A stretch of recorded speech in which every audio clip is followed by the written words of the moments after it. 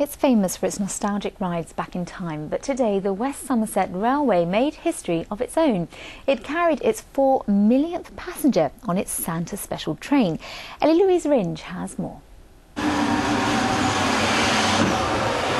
been a long journey of over 30 years to get here. Passengers have come from all over the world to travel on the Heritage Railway. But it was the Haywood family from Crewkerne who'll be going down in the history books as their four millionth customers. You're going to have to be our um, our guests for the day, really. That's okay. Because we're only people that bought children. no, no, no, not the only one. The 20 mile railway stretches between Bishop's Lydeard near Taunton and Minehead since it reopened in 1976. On its Santa special train today, everyone was enjoying the celebrations.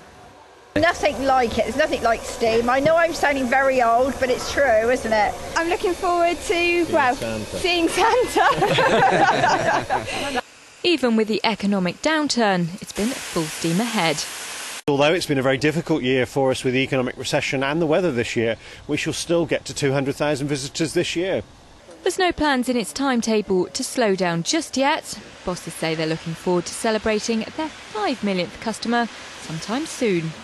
Ellie Louise Ringe for The West Tonight.